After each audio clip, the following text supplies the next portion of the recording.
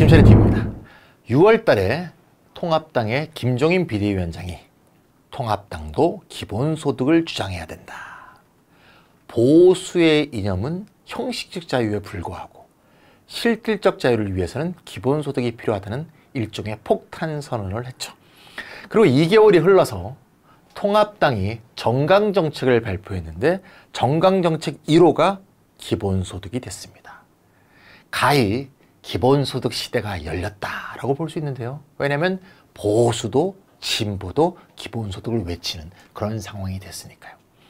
어느덧 세월이 많이 흘러서 여론조사를 해보면 기본소득을 지지하는 사람들이 굉장히 많이 늘었습니다. 일단 절반을 통과한 거로 보이죠. 긴급재난지원금을 경험하면서 기본소득 지지자가 많이 늘었습니다. 거기에 통합당까지 정강정책 1호를 하겠다고 하니까 많은 사람들이 과연 통합당의 기본 소득은 어떤 모습일까? 어떻게 설계될까? 굉장히 궁금해했습니다. 왜냐하면 이제 기본 소득을 하냐 안 하냐 이거는 별로 논쟁거리가 안 돼. 왜? 많은 사람이 지지하는 방향으로 가고 있기 때문에 기본소득의 방향으로 이미 세상은 가고 있어. 특히 대한민국은. 그러니까 더 중요한 것은 어떤 기본소득인가? 기본소득을 어떻게 설계해야 정말 바람직한 기본소득이 되며 기본소득의 정신과 취지에 맞을 것인가? 즉 기본소득의 구체적 형태에 대한 관심으로 관심의 초점이 넘어가고 있습니다. 그 시점에서 드디어 통합당이 기본소득이 어떤 내용인가 기본소득 안을 밝혔습니다. 며칠 안 됐습니다. 그래서 제가 거기에 대해서 한번 쭉 읽어봤습니다. 별로 아직 구체적인 안이 많이 나온 건 아닌데 기본적인 얼개가 다 발표가 됐는데 제가 보고 매우 실망스러웠습니다. 일차적으로 이거는 기본소득이 아니에요. 기본소득이 뭔지 사실 관심이 있는지조차 의심스러운 안이 나왔습니다. 그래서 제가 오늘 찍으려는 동영상의 제목은 통합당 기본소득 비판이 되겠습니다. 뭐 비난하겠다는 게 아니고요. 정확하게 보고 어떤 점에서 문제가 있는지에 대해서 하나하나 밝혀볼 테니까 여러분 같이 같이 생각해보는 그런 시간을 가져보면 좋겠습니다. 자, 이제 앞으로 제가 설명하기 앞서 제가 보고 난 단상을 한번 말씀드리겠습니다. 아, 일단 통합당의 당명이 바뀐다는 건 보셨죠? 오늘 발표했어요. 그래서 제가 PPT를 못 고쳤는데 뭐 못 고쳐도 뭐 다 아실 테니까 국민의 힘으로 바꾼답니다. 국민의당 아닙니다. 국민의 힘입니다. 두 개는 저로 완전히 다른 정당입니다. 읽어보니까 제가 갖게 된 결론은 두 가지입니다. 하나는 이 통합당 기본소득이라는 건 일부러 다운표 쳤습니다. 기본소득을 참칭하는 기본이 안 된 소득제도다. 기본소득의 중요한 요건을 다 결여하고 있습니다. 그러니까 이름은 기본소득이지만 기본소득에 대한 인기에 그냥 올라타는 영어로 rider라고 그러죠. 무임 편승자, 무임 승차하는 즉 이름만 무임승차하는 그런 성향이 매우 강하다. 이건 매우 솔직하지 않은 태도죠. 내용이 다르면 다른 이름을 붙여야지. 인기에 영합하고 올라타는 그런 식의 참칭하는 이론이다. 두 번째는 뭔가 하면요. 통합당 기본소득안이 원용으로 삼고 있는 미국의 안이 있어요. 그게 밀턴 프리드만이라는 자유주의자가 주장한 NIT라는 계획입니다. 나중에 제가 보도록 할게요. 그 NIT 아닌 밀턴 프리드만을 원용으로 삼아서 그거를 약간 변조시켰습니다. 만약에 밀턴 프리드만이 무덤에서 이 통합당 안을 봤다면 아마 무덤에서 벌떡 일어날 거예요. 왜? 네가 나까지 왜곡시켜? 밀턴 프리드만이 정말 화를 낼 겁니다. 네가 밀턴 프리드만을 알아? 이럴 것 같아. 그래서 밀턴 프리드만이 보기에도 너무 황당하다. 과연 보수가 뭔지를 아는가에 대해서도 의심스러운 아니다. 이걸 차근차근 2회에 걸쳐서 설명을 드리도록 하겠습니다. 먼저 제가 네 가지 얘기를 할 겁니다. 비판에 대해서 1번, 2번, 3번, 4번. 1번, 2번은 1부에서, 3번, 4번은 2부에서 다루도록 하겠습니다. 됐죠? 1번부터 볼게요. 이 안의 핵심은 중위소득 50% 이하 가구를 대상으로 해서 그들에게 복지 수혜를 주겠다는 아닙니다. 여러분들 숫자라는 건 말이죠. 사람들이 싹 현혹되기가 쉬워요. 일단 50%란 말을 들으면 이 중위소득이란 말이 뭔지가 좀 생소하신 분은 50%? 그럼 국민의 50%가 받나? 이렇게 일단 착각하기 좋도록 해놨어요. 그래서 일단 중위소득이란 말을 정확하게 아실 필요가 있죠. 대부분 제 TV를 보신 분들은 알고 계시죠? 일단 중위소득은 평균 소득하고 다른 개념입니다. 평균 소득은 모든 국민의 소득을 더한 다음에 인구수로 나눈 거죠. 그렇다면 소수가 아주 많이 벌고 있어도 평균 수치는 올라갈 수 있다. 이해가십니까? 예, 총합을 나눈 거니까.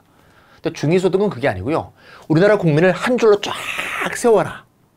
이럴 때 소득이 작은 사람부터 많은 사람 순으로 쫙 세웠을 때 딱 중간에 위치해 있는 사람 2,500만 명 이 자리에 있는 사람의 소득 이게 중위소득이 그럼 중위소득은 일반적으로 모든 나라에서 평균소득보다 훨씬 낮습니다. 평균소득보다 더 낮으면 낮을수록 소득 불평등이 심한 나라죠. 이거에 대해서는 우리나라는 말이죠.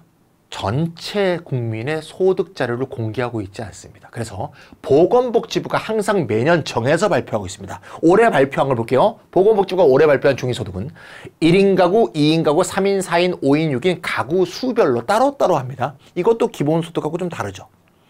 기본소득은 개인 단위로 하지만 보건복지부의 모든 복지정책은 가구 단위로 돼 있어요. 그래서 1인 가구 기준에서 중위소득이 176만 원입니다.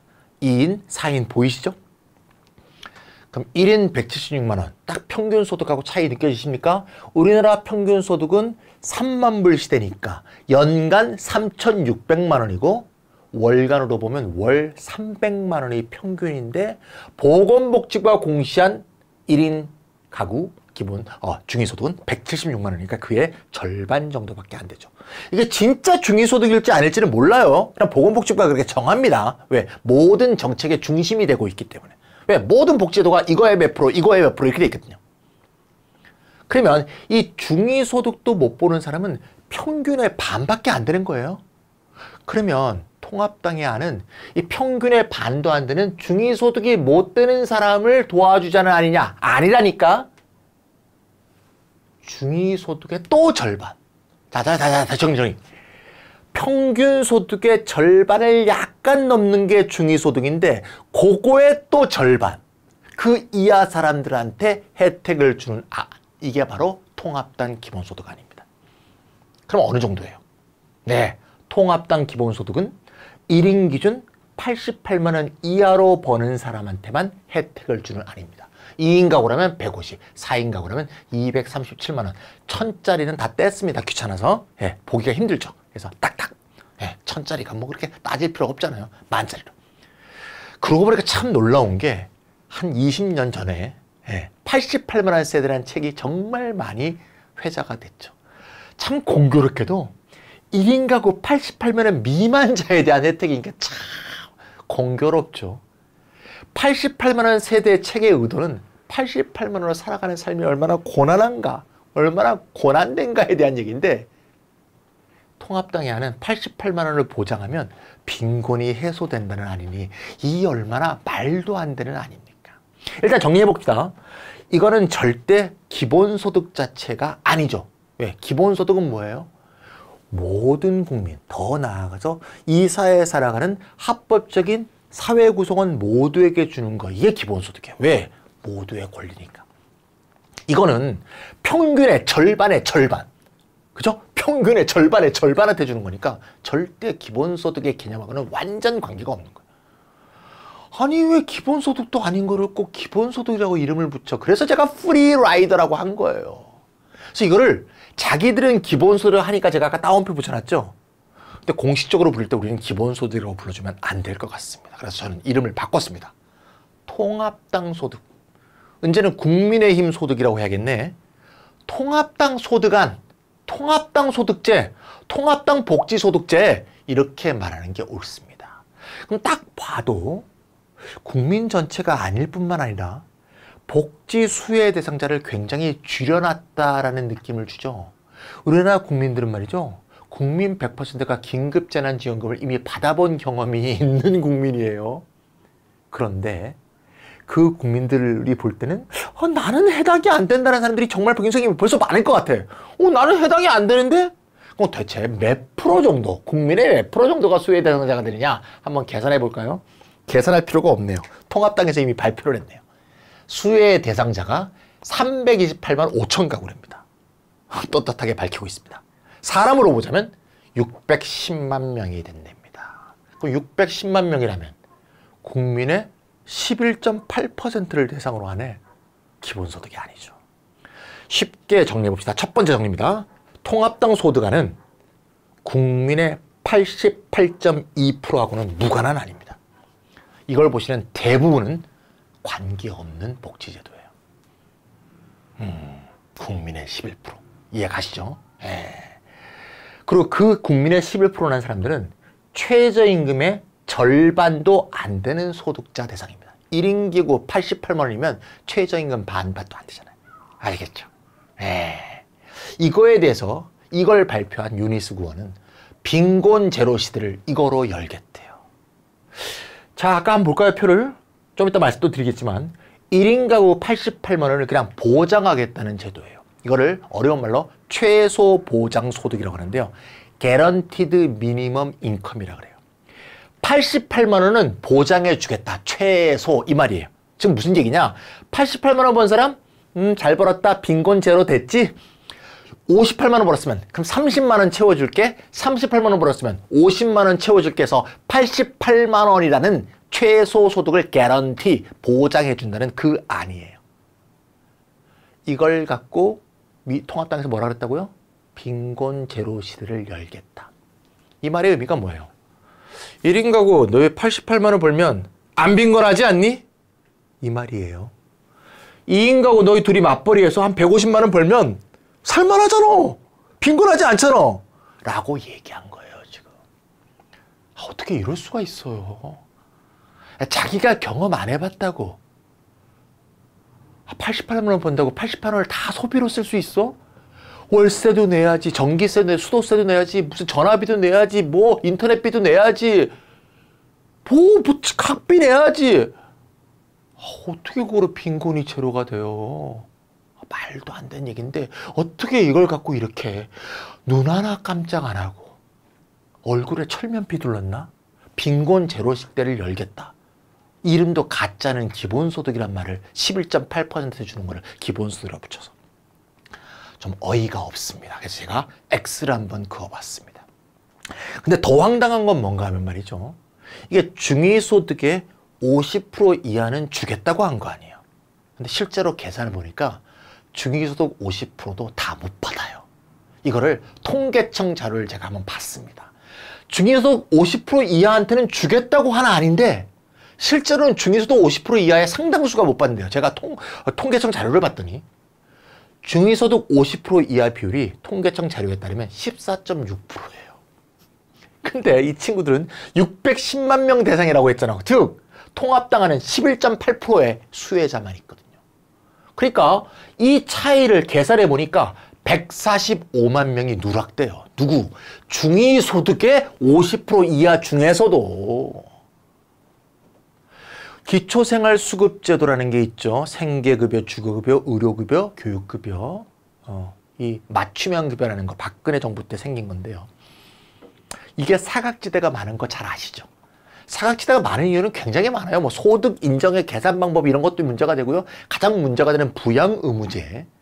직계 존비 속이 살아서 소득이 있으면 그 사람이 국가보다 먼저 나를 부양할 의무가 있다는. 내 아들, 딸이 어디서 돈을 벌고 있으면 걔들 사는 것도 급급한데 날 부양하라고 하는 게 부양 의무제죠. 그래서 사각지대가 많은 거예요. 어디서 통합당이 그 얘기는 들었나 봐요. 그래서 이 통합당 소득제로 어, 복지도의 사각지대를 없애겠다 이러고 있습니다. 없애긴커녕 이미 145만 명이 자기가 얘기한 중위소 58% 이하에서 이미 누락되고 있어. 이미 사각지대가 있는 아니다. 이 점이 첫 번째 문제점이다. 정리해 볼게요. 첫 번째 문제점은 기본소득이 아니고 중위소득 50%도 받지도 못하고 액수도 극히 미미해서 빈곤제로 효과가 없는 아니다. 이게 첫 번째 문제점입니다. 두 번째 가볼게요. 두 번째는 역시 그들이 주장한 거에 따옴표를 붙여서 한번 보겠습니다. 중복된 현금 지원 제도를 통폐합해서 사각지대를 메꾼다. 이 사각지대를 메꾼다는 말은 말 자체는 굉장히 좋은 말이죠. 왜? 기존에 복지 수혜를 받아야 되는데 받지 못한 사람을 받게 해주겠다. 보통 이렇게 얘기합니다. 기초생활수급제도 법에 보면 이렇게 돼 있어요. 기초생활수급 대상자라는 명칭이 있고 기초생활수급자라는 명칭이 있어. 이게 무슨 말인가 하면 대상자는 대상은 되는데 아까 얘기했던 부양의무제 등등으로 해서 받을 수 없게 되면 대상자는 됐는데 수급자에는 빠지게 되죠. 이거를 보통 사각지대라고 하거든요. 그럼 기초생활 수급에 사각지대는 메꾸겠다. 이러한 야 어떤 희망찬 계획 이게 담겨 있을 수도 있거든요. 가능한 한번 좋게 봅시다. 자, 아까 1번에서 우리가 본 게 국민의 11.8%를 수혜자로 하는 안이었어요. 이걸 좀 긍정적으로 한번 바라봅시다. 그래. 최저임금 받는 사람도 어렵긴 어렵지만 최저임금의 절반의 절반. 최저임금의 절반의 절반. 중위소득의 절반이에요. 최저임금의 절반의 절반 되는 사람은 최저임금 받는 사람보다 더 어려울 거 아니야.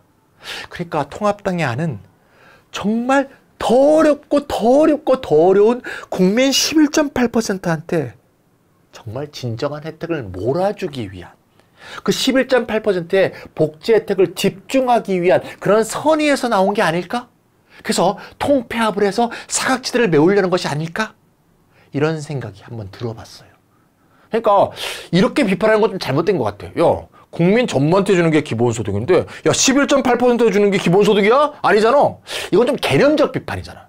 기본소득 지지자로 보면은 말이 통하겠지만 진짜 가난한 사람 입장일 때는 어, 기본소득이면 어니고 아니면 어때? 나한테 혜택이 더 많으면 되지? 국민의 11.8%는 정말 혜택이 더 늘어나는 거면 좋을 수도 있다는 생각도 드네요. 선별 복지로는 그들에게 대해서는 그게 맞는가? 요걸 한번 보겠습니다. 11.8%안 되는 이로운 것인가? 제가 한번 표를 한번 만들었는데 좀 표가 생소하신 분들도 있겠죠? 왜 이런 표가 만들어졌냐면요. 지금 통합당의 기본소득 안이 어떻게 어떻게 재원을 하겠다는 구체적 안이 지금 안 나와 있어요. 참 의아한데요. 통합당 기본소득 안이 나오기 직전에 TV에서 오세훈 전 서울시장이 박기성이라는 교수의 의견을 받아서 안심소득제를 주장한 적이 있거든요. 그래서 제가 안심소득제 비판도 이미 김찬의 TV에서 찍어놨죠. 그래서 이 안심소득하고 약간 다 있어요. 국민의 일부분만 대상으로 하고 둘 다 밀턴 프리드만의 NIT로부터 뭔가 변조되어 왔다는 점도 비슷하거든요. 안심소득제에 따르면요. 재원안이 이렇게 돼 있어요. 다섯 가지를 아까 뭐라고 돼 있어요? 통폐합이라고 나오죠. 진짜 통폐합이라고 했습니다. 안심소득제는요. 다섯 가지를 통폐합합니다. 뭐였죠? 공부하셨죠? 뭐였죠? 그죠? 여기 나온 생계급여, 주거급여, 자활급여, 그 다음에 근로장려금, 자녀장려금 이 다섯 개를 통폐합하여 안심소득제 재원으로 한다 이렇게 써 있어요. 그러니까 매우 이와 비슷한 안이 나올 가능성이 매우 높기 때문에 그걸 갖고 한번 보자는 거예요. 생계급여는요.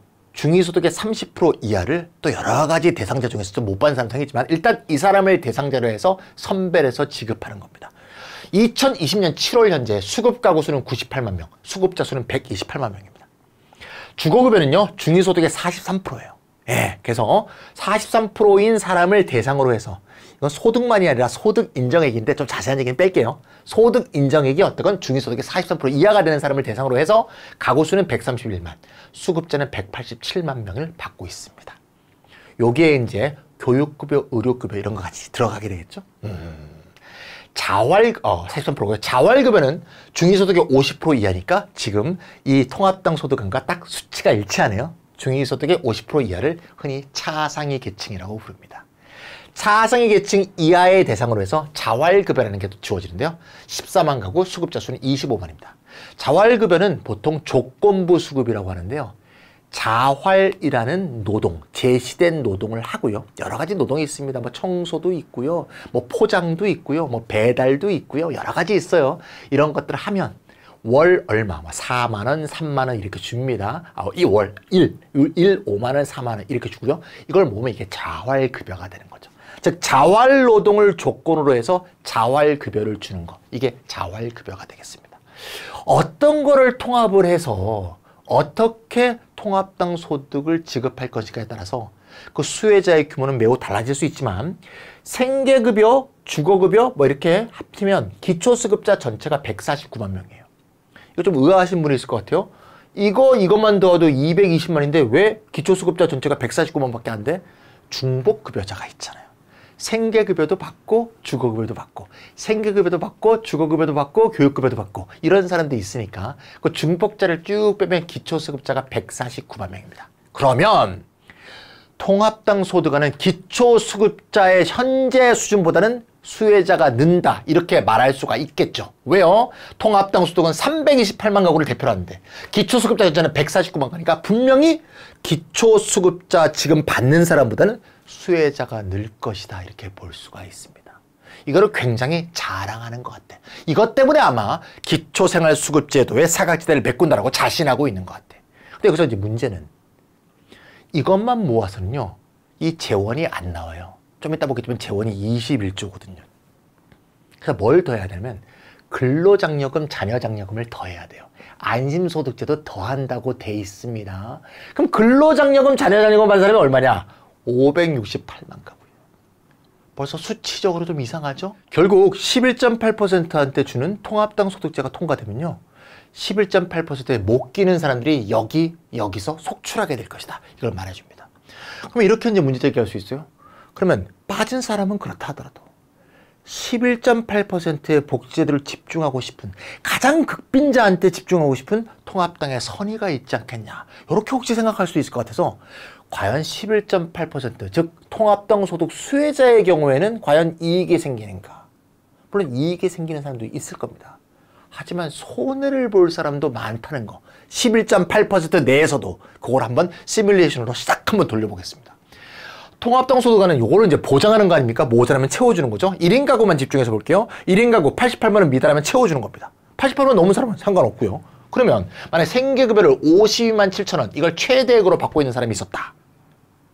중위소득 30% 이하죠. 그러면 이 사람은 좋을까 나쁠까? 기분 좋죠. 왜? 과거에 52만 7천 원 받다가 통합당 소득안이 통과되면 88만 원을 월 받게 되거든요. 그럼 과거보다 35만 3천 원이 수급액이 증가하게 됩니다. 생계급여만 받던 사람이라면 수급액이 증가할 수 있어요. 일부 그런 사람이 있을 것이다. 근데 문제는요. 아까 우리가 표에서 이미 봤어. 생계급여는 중위소득의 30% 미만이고 주거급여는 중위소득의 43% 미만이기 때문에 30% 미만인 사람은 이두개 겹쳐요. 즉 이것도 받고 저것도 받습니다. 이것만 받는 사람 별로 없어요. 그러면 생계급여, 주거급여를 같이 받는다면 합쳤을 때 액에 겨우 9만 원 늘죠. 별로 혜택이 없어요. 뭐 대단한 것처럼 생긴 것 같은데 뭐야 전에 봤던 거하고 비슷하잖아. 이렇게 돼버리는 거죠. 전에 봤던 것과 비슷하면 그래도 나아요. 왜? 기초생활수급제는 여기서 끝나는 게 아니거든요. 의료급여도 있고 교육급여도 있거든요. 거기다 뭐 마우처도 있고요. 뭐 무료도 있고 할인도 있고요. 뭐 많아요. 그런 거를 전부 싸그리 합쳐갖고 88만 원으로 때운다. 원래 밀턴 프리만의 계획이 그거거든요. 복잡한 사회 복지대를 깡그리 털어서 그냥 현금으로 간편하게 복지로 한다. 이게 뭘때 밀턴 프리만의 원래 의도거든요. 이걸 다 섞은다면 88만 원대를 끝난다면 상당수 기초생활수급자들이 혜택이 줄어드는 것일 것이다. 즉 11.8%도 상당수의 사람은 절대 더 이로운 게 아니고 혜택이 줄어들 것이다. 자활급여는 말도 못하죠. 자활급여는요. 1, 뭐 4만 원, 3만 원, 뭐 5만 원 이렇게 타면요. 이게 모이면 100만 원이 넘어요, 월. 월 100만 원이 넘는 순간 얘하고 관계없어. 어, 자활급여하고는 관계가 없어지는데. 근데 안심소득에 따르면 자활급여도 도 합쳐버린다거든요. 그럼 자활급여 받던 사람은 100만 원 자활급여를 받다가 갑자기 88년, 88만 원 통합당 소득 받는 거로 바뀌면 소득이 줍니다. 자활급여 120만 원 타는 사람은 갑자기 소득이 확 줄게 됩니다. 안심소득제의 원칙처럼 자활급여도 합치게 된다면 어떻게 될지 몰라요 통합당은 그런 식의 문제점을 갖고 있다는 거죠. 자 안심소득제에서 또 합치겠다 통폐합하겠다는 거에 중요한 것 중에 근로장려금이 있었죠. 근로장려금은 조금 보시면 좋습니다. 제가 몇 번 한번 김찬희 TV에서 나왔으니까 생소하지 않죠? 2020년 매년 조금씩 늘고 있어요.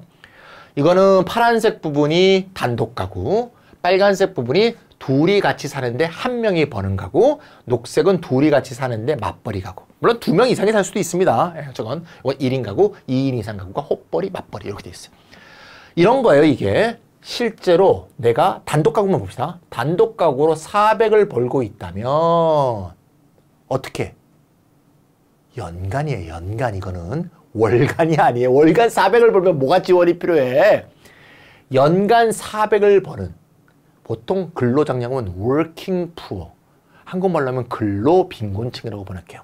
일을 했는데도 소득이 충분치 않아서 노동소득이 충분치 않아서 빈곤한 사람한테 소득을 약간 얹어주는 겁니다. 이게 근로장려금인데요. 연간 400을 벌었으면 150만 원까지 받을 수 있어요. 700, 800, 900까지도 똑같이 150이에요. 900을 넘어서는 순간 점점 줄어듭니다. 이게 매년 보건복지부가 표를 발표해요. 그래서 그 표를 보면 내 소득에 따라서 근로장려금을 얼마 타는지 알 수 있어요. 그래서 근로장려금은요, 소득이 증가할수록 증가하는 국면과 소득이 증가도 정치하는 국면, 소득이 증가하면 감소하는 국면, 이렇게 존재해요. 왜 그런지는 알겠죠? 만약에 2천인데도 이게 계속 유지되면 2천을 버는 사람이 2,010만 원 버는 사람보다 훨씬 더 부자가 되죠. 그죠? 요게 150이 계속 유지돼 봐. 그럼 2천 버는 사람은 2,150이 되잖아. 그럼 2,010을 버는 사람보다 많이 벌게 되죠. 그래서 이렇게 쭉 줄어들게 하는 거예요. 어쨌든 그렇게 되어 있습니다. 요걸 기억하세요. 900을 버는 사람이 연간 근로장려금을 150 받게 된다. 그걸 놓고 한번 통합당 소득안과 비교를 해볼게요. 아, 준비 많이 했다. 야, 제가 진짜 그냥 말로 해도 되는데요. 실제로 얘기 왜냐면 요새 유튜브에 너무 가짜 뉴스가 많잖아. 다 주장만 하니까 너 어떤 사람의 주장을 믿을 거야? 이게 무슨 신앙도 아니고 또 야, 어느 정도를 믿을까? 이게 아니잖아. 팩트를 갖고 팩트보다 무서운 건 없죠. 팩트로 한번 얘기하기 위해서 저는 김철희 팀은 항상 이렇게 표가 나옵니다. 통합당 소득안은 월 88만 원이니까 연간으로 하면 1,056만 원 아닙니다. 이 최소 보장, 최대 보장액이죠. 1,056만 원이에요. 그럼 근로장려금 아까 900만 원 타락하면 얼마라고요? 900만 원의 노동소득이 있으니까 근로장려금이 150만 원이 됩니다. 그러면 이게 얼마가 되죠? 1,050만 원이죠. 저는 일부러 만들었나 싶어요. 월, 월 88만 원은 88만 원 세대하고 숫자가 똑같고 어떻게 근로장려금 최대액 받는 사람의 끄트머리하고 어떻게 똑같아요? 차액은 겨우 연간 6만 원밖에 안 돼. 그러면 노동해서 연간 900 벌던 사람은 통합당 소득안이 생겼을 때 연간 6만 원 더 번다 이 얘기죠. 뭐야 이거 좀 더 해볼게요. 910만 원을 벌면요. 아까 보입니까? 910만 원을 벌면 근로장려금이 약간 줄어들어요. 그럼 어떤 일이 생기냐? 근로장려금이 150에서 148만 7천 원으로 줍니다. 더해보면요. 1056만 원보다 많아. 그럼 현행 근로장려금 제도에 따르면 이 사람이 1058만 7천 원을 받았었는데 통합당 소득이 됐을 때 만약에 근로장려금을 다 통폐합을 해서 통합당 소득으로 지급하게 되면 1058만 7천 원을 받다가 1056만 원 받으니까 2만 7천 원이 줄어들죠. 끝이 없겠죠. 960 벌면 49만 원을 줄어요. 다시 말하자면 여기 전부 여기 전부, 여기 전부가 만약에 근로장려금이 통폐합돼서 이게 통합당 소득 안으로 들어가게 되면 이 국면에 있는 모든 사람은 소득이 다 줍니다. 이 사람들은 비슷하죠. 이 사람들은 조금 늘겠죠. 황당한 아닙니다. 근로장려금을 받는 대다수 사람들이 더 수급액이 줄어들게 되는 소득이 줄어들게 되는 그런 황당한 아니다. 결론 한번 지어볼게요. 기초생활수급자는 일부의 경우에는 실질급여가 늘어나는 사람도 있지만 줄어드는 사람도 굉장히 많을 것이다. 이미 봤죠? 의료급여, 주거급여 중 급여를 많이 받고 있도록 다 줄어들 거고요. 자활급여자들은 대부분 줄어들 것이다. 근로장려금은 통폐합된다면 대부분 급여가 줄어들어 전속 줄어들게 되고요. 만약에 근로장려금을 통폐합하지 않고 존속하게 된다면 통합당한 거는 아무 관계없는 사람이죠. 그럼 이 사람들에 대해서는 대책이 안 나온 거죠. 예. 기초연금 수급자를 통합해서 재원을 만들겠다고 했는데 과연 이거는 어떻게 할지 아까 말씀드렸지 굉장히 궁금합니다. 과연 어떻게 될 것인지. 자, 지금 첫 번째 과제가 두 번째를 말씀을 드렸는데요. 첫 번째 안, 두 번째 안. 다 이게 이제 심각한 문제가 있다고 할 수 있죠. 첫 번째는 국민 다수를 위한 것이 아니다. 두 번째는 그 소수를 위한다는 사람한테도 사실은 피해로 돌아올 수 있다. 이 점을 꼭 기억해야 됩니다. 그럼 세 번째 문제와 네 번째 문제는 뭔지 오늘 2부에서 계속하도록 하겠습니다.